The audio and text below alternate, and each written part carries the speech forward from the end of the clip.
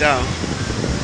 Eh, wapendwa watazamaji, eh, kwa leo naletea eh, wakati wa kuifahamu vizuri Brazil, Sao Paulo.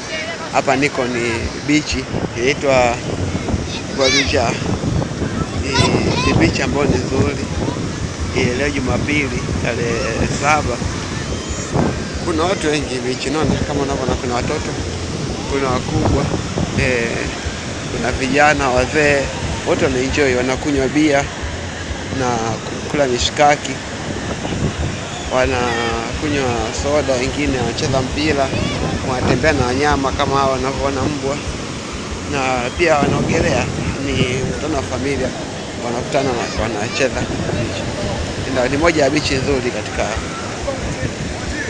katika jiji la Sao Paulo, lakini nje kidogo ya jiji kuna sehemu panaitwa licha ni praia, ni beach ya Franco. Basi life live nawaleteni hii kitu, mwangalie jinsi ambavyo naenda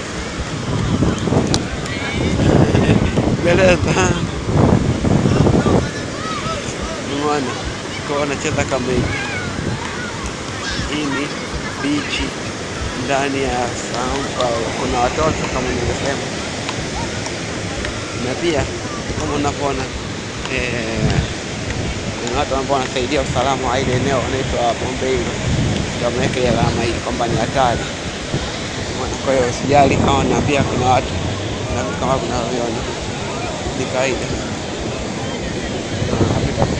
Matako mazuri,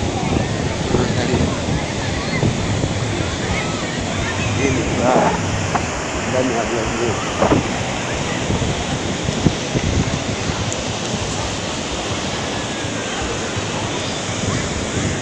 Lakini usijali, kuna kitu kibaya.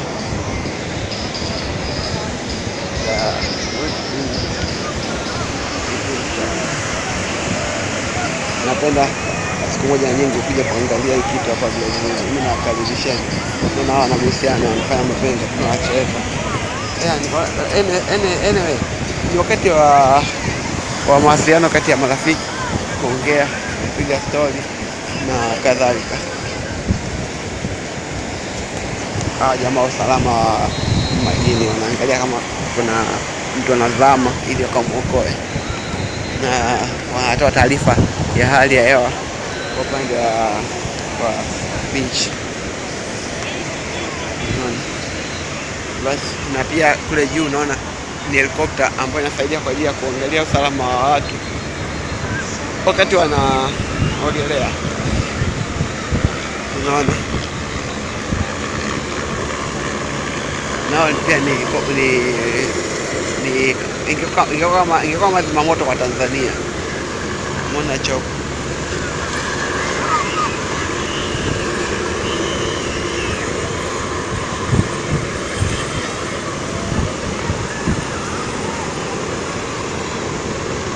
hawa wanapiga picha,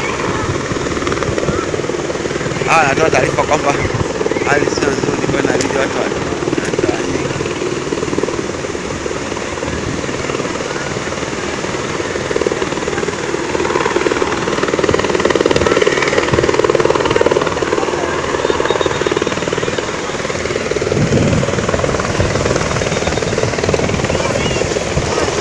Taarifa kwa watu wanaohusika.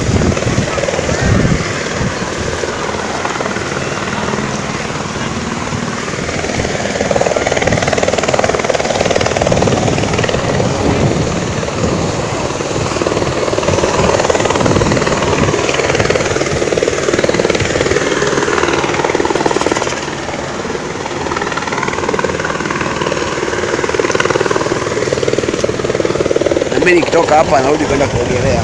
Ningetaka sana kuogelea na, na, kama mnavyoelewa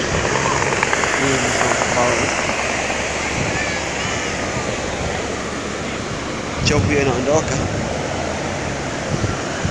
sisi kuogelea.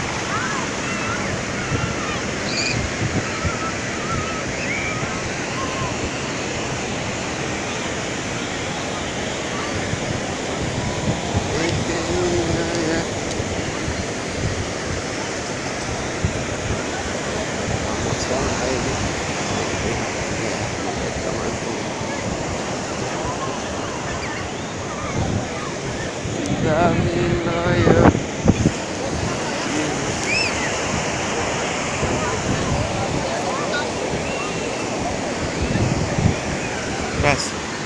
Ndio hivyo tuko pamoja, nawatakia Jumapili njema na wakati mzuri wa maisha. Maisha ni mafupi, inabidi kuenjoy kama tujakufa. Taarifa anaiziradi домой.